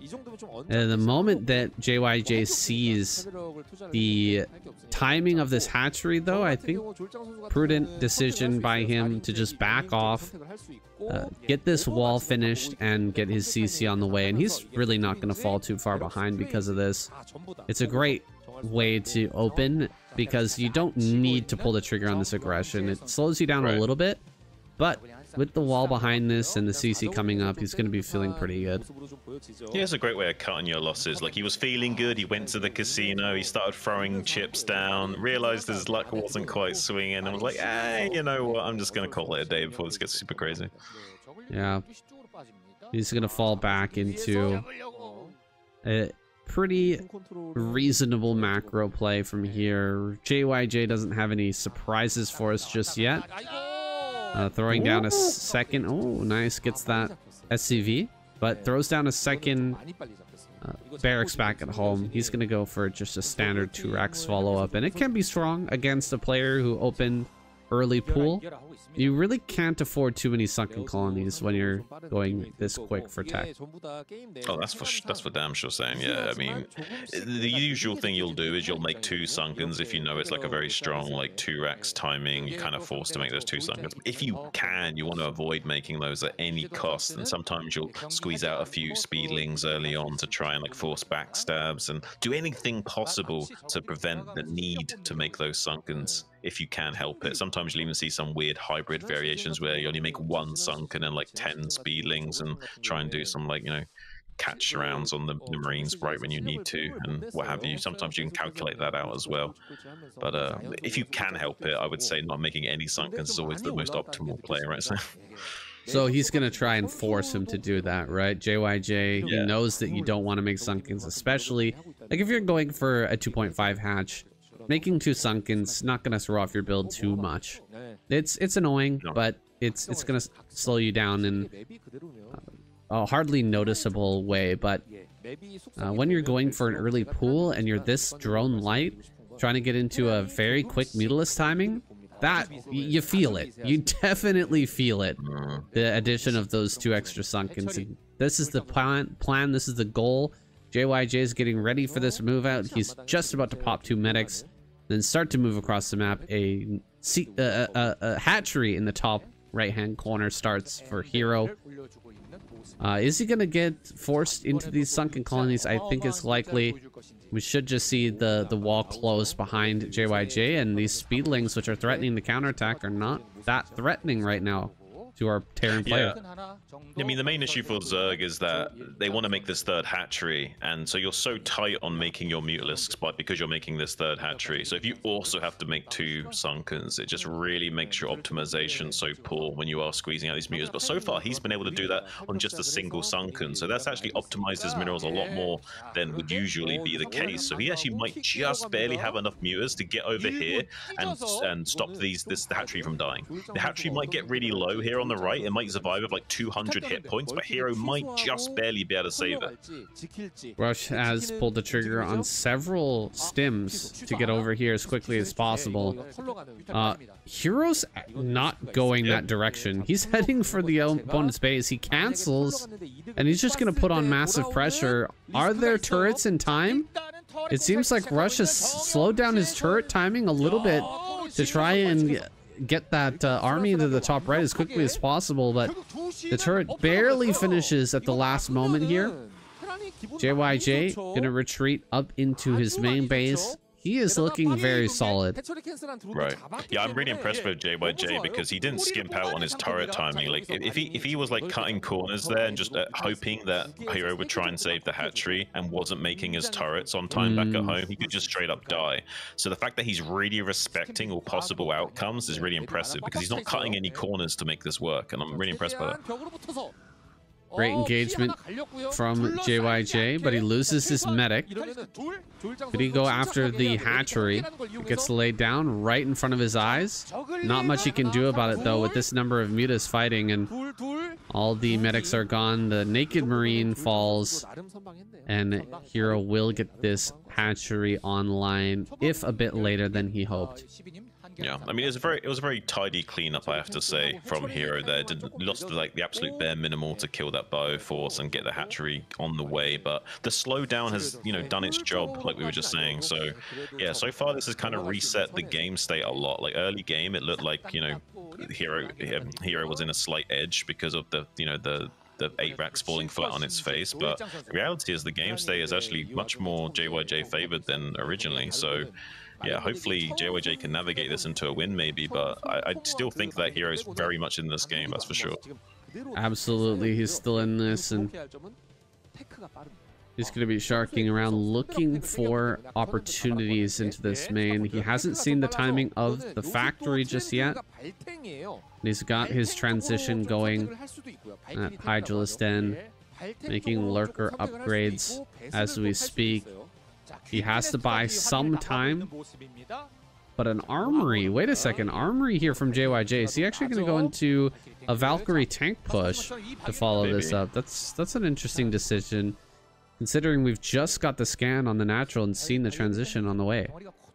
Well, he might be banking on Hero relying too much on his mutas and not having the crisp enough lurker timing. And he's doing a pretty good job of turning around on these mutas uh, so thus far. Beautiful spread of the Marines each time, getting the catch on these mutas, being very uh, mindful of the exact positioning of these Marines and reacting very um, adeptly to the mutalisk positioning uh, of Hero um, inversely. So, so far, I've been really impressed by JYJ this game, honestly. Like, uh, unless he falls apart in a few moments here, I would say he's, he's played a very strong game. He's going to get the reinforcement to this Marine medic group in the middle of the map. It just become very scary with plus one finishing up. Mutalisks are falling. The group is getting smaller. There's no lurkers just yet. Tanks are being incremented out here. It's looking like a fantasy push.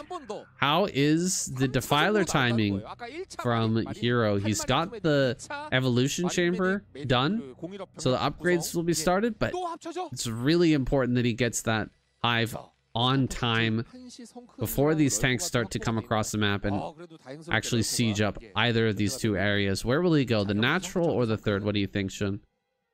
Uh, I think he should just roll up to the natural, but he might not want to go for that because it's too obvious of a choice. He might want to go across the middle of the map to kind of hide from the Overlord scouting and what have you, so he might decide to attack the third just because it makes sense in terms of like hiding the push for as long as possible. Ooh, this is scary. Valkyrie is out, but it's the first Valkyrie, and as soon as it starts to shoot, it cannot move. It takes two volleys from those mutas and almost dies without dealing any damage to the Mutalisk stack whatsoever. So this is a bit scary right now for JYJ. If he loses this push, he's going to be in a pretty serious deficit. Uh, Valkyrie, super, super low, and the tanks are shoving forward. The mutas are not in position to cut off reinforcements, so these tanks are going to be able to siege up, and more uh, we'll be following behind this. Another Valkyrie should be uh, joining the crew here in a moment too. There it is. Two shots from that. Third shot goes down. The Mutas take a pretty big volley from that Valkyrie, but he's just going to pull the trigger, going right in towards the natural. JYJ going for broke right now. He's just going to dive in, try to kill the Nydus Canal. Can he actually get it?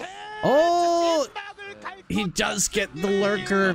He kills the Nydus and the Valkyrie goes down. The Scourge kind of thrown away there and the muted number is way too low. Great scan to finish this off. GG, Hero taps out. What an amazing and well-timed push from JYJ.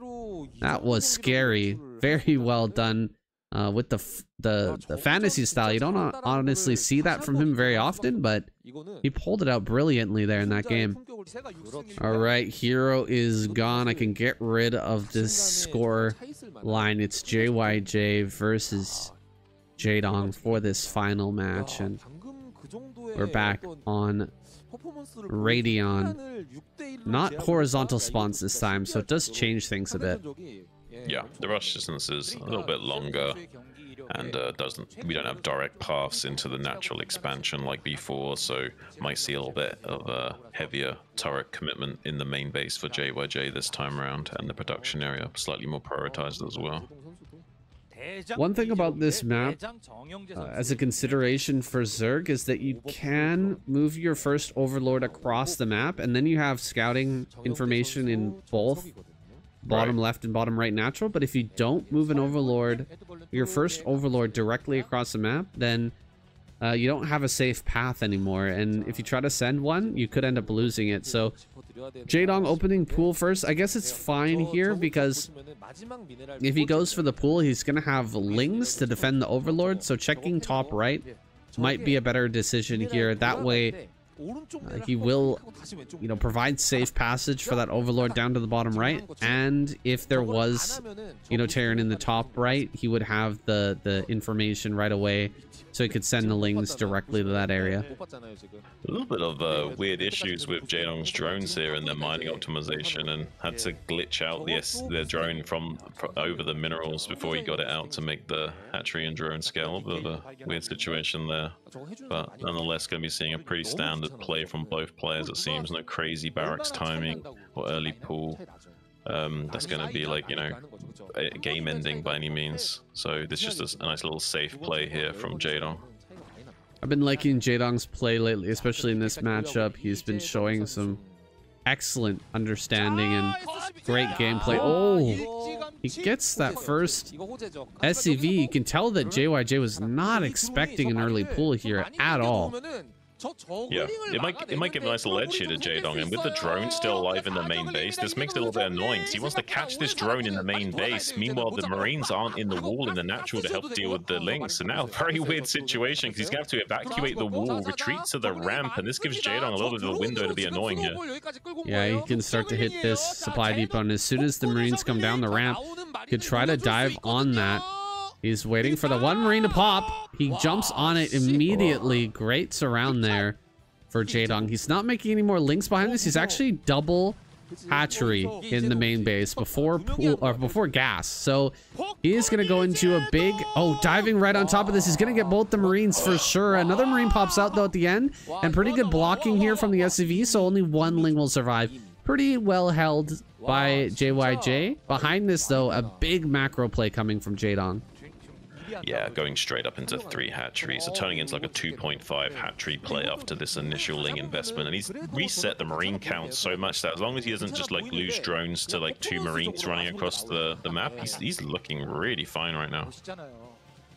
Yeah, this is maybe more reminiscent of like a three hatch play, uh, old school yeah. three hatch than even a 2.5 more modern style. But yeah, you're uh, right. with that early, early Ling aggression uh, paying off by killing quite a few Marines, I think he is in a pretty decent spot. He looks to be a little supply blocked right now, but there's the Overlord and with this additional hatchery so early on, he's going to be able to pump out a crazy number of drones, whereas JYJ is just going to be sitting here on curve, trying to get that command center down.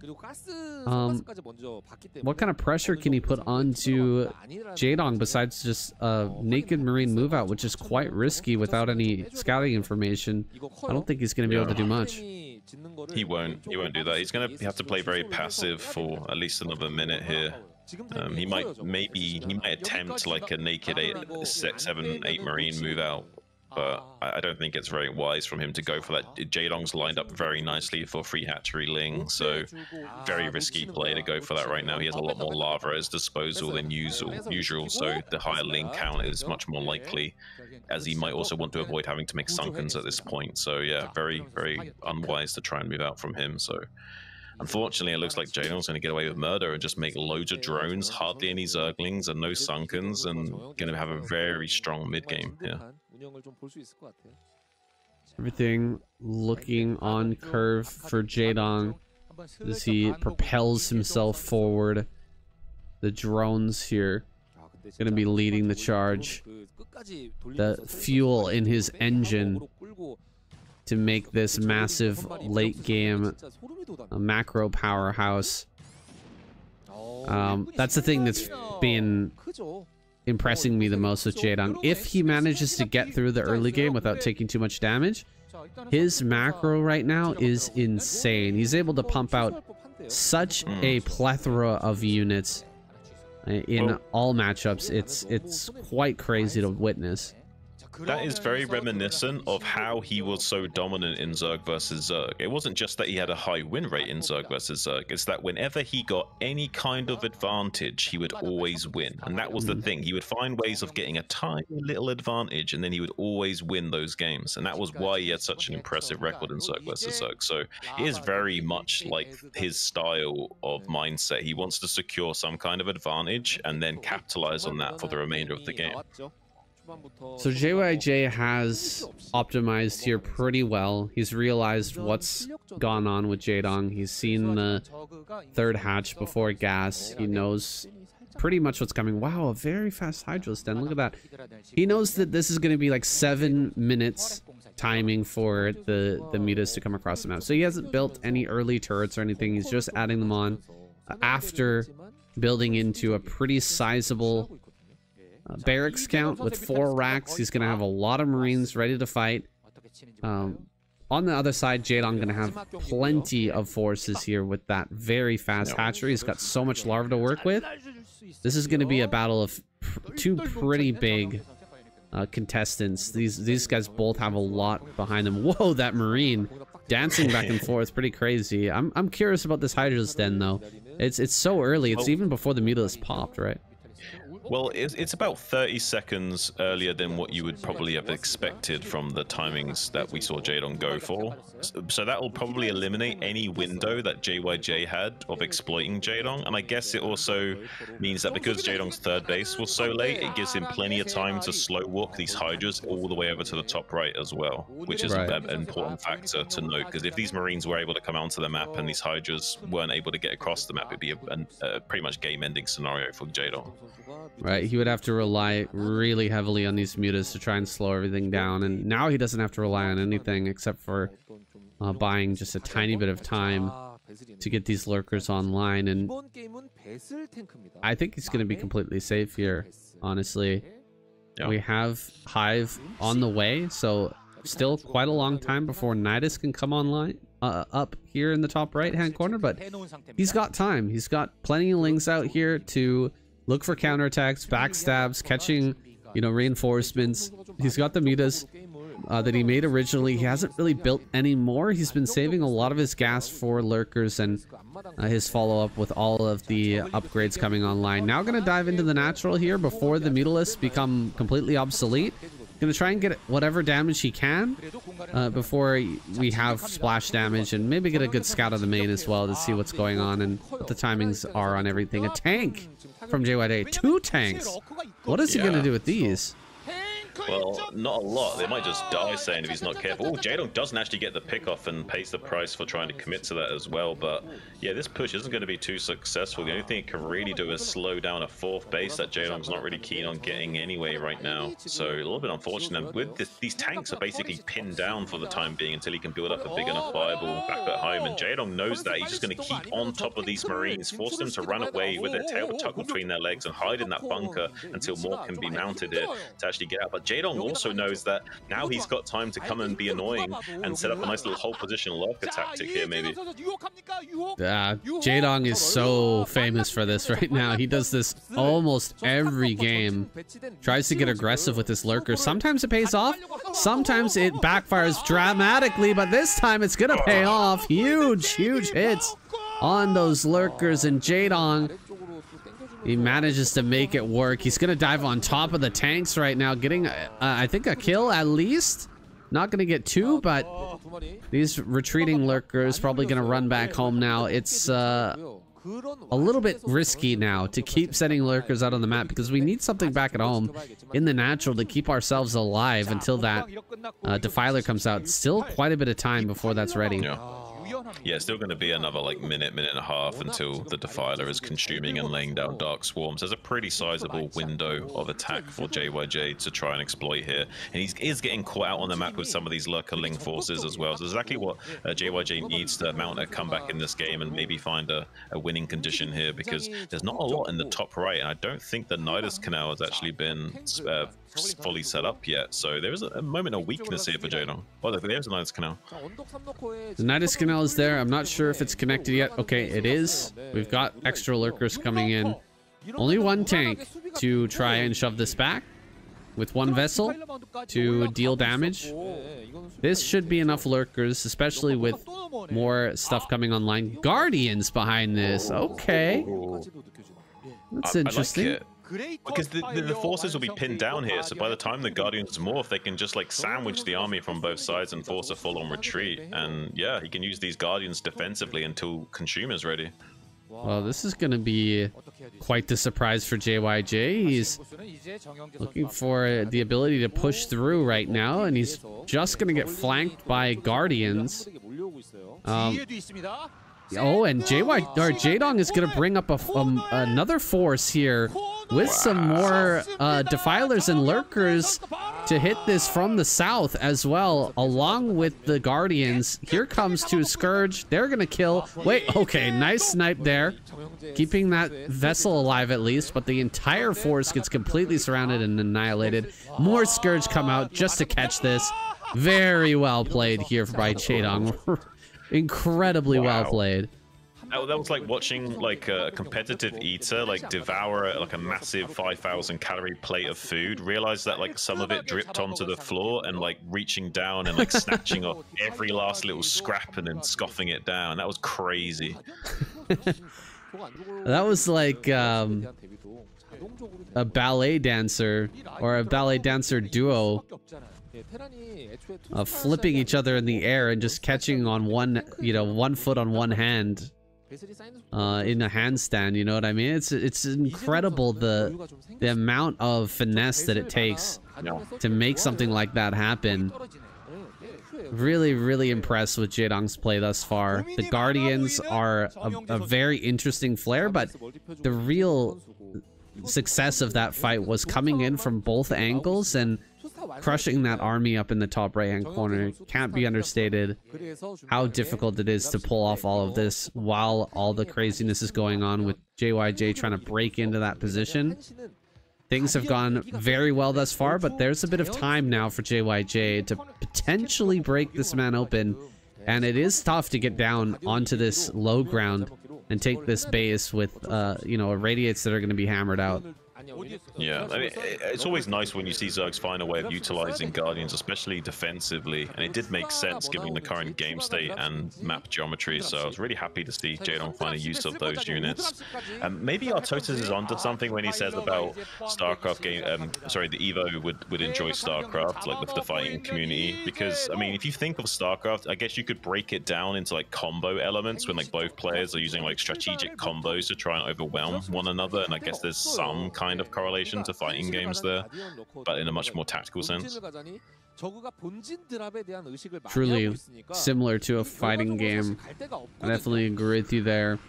Um, that combo from J Dong earlier was incredible, but it's not a knockout combo. It's not a knockout blow. JYJ is still in this. He's got a good number of vessels. He has the third base online.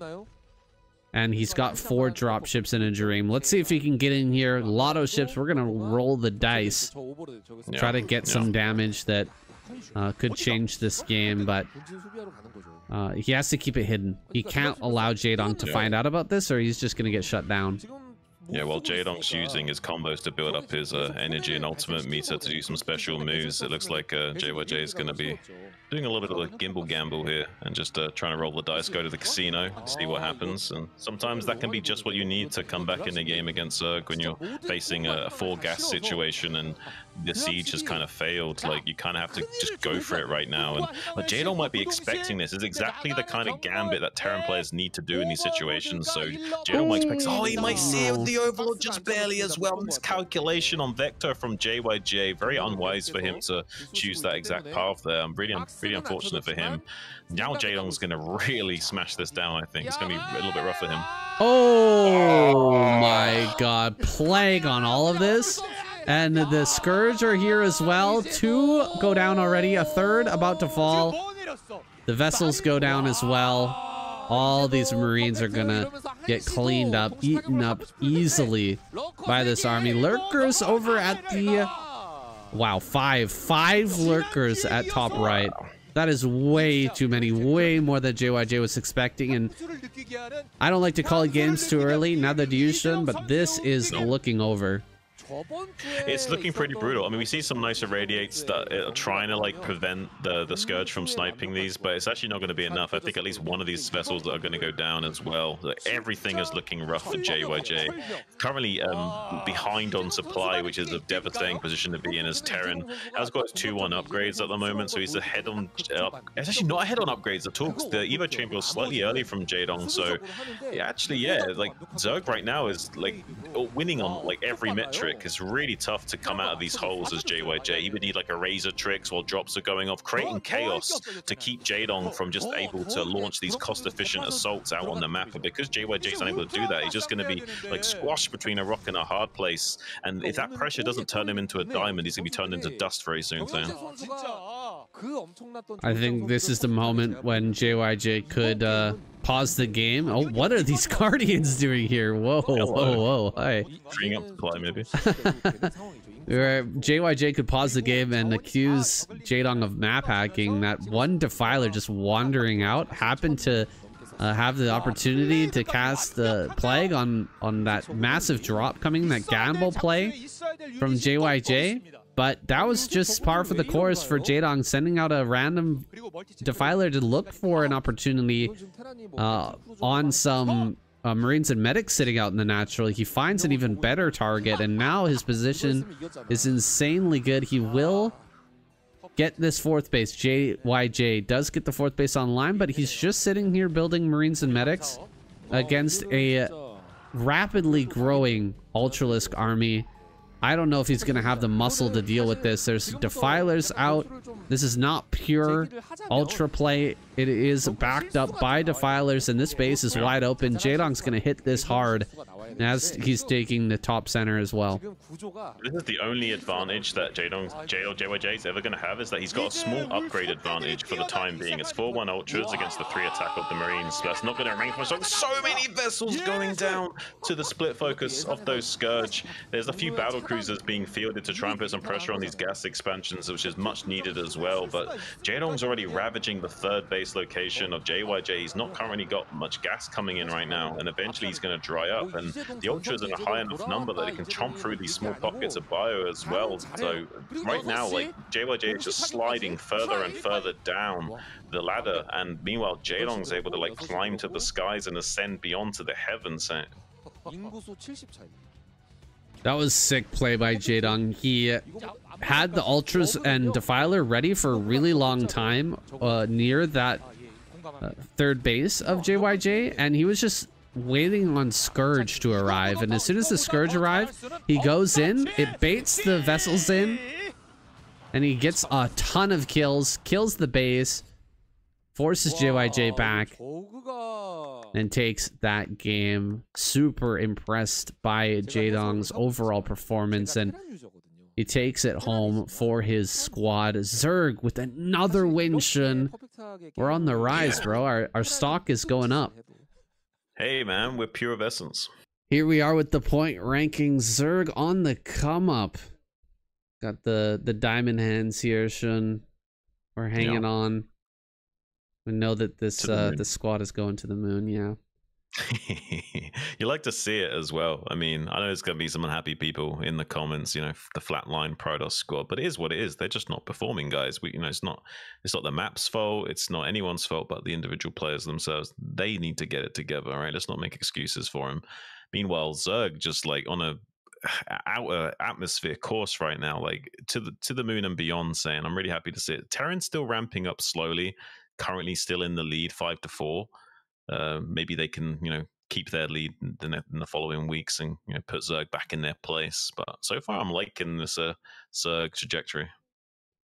A lot of great games here today. Great performance from both Hero and Jaedong. Uh, who else of note for this week of KCM? I'm I'm shocked, of course, that a Snow got taken out so early on, but I'm really happy for Speed mm. that he got his vengeance. Oh, absolutely. I mean, it's really nice to see players like Speed not only get some stage time, but actually performing pretty pretty well when they haven't. That means he's two and one this season, right? That's two. Uh, sorry, two and two this season. So that's that's a pretty okay record. If you're going fifty percent with with these boys, I mean, yeah, that's something to speak for. It's a mental victory for Speed.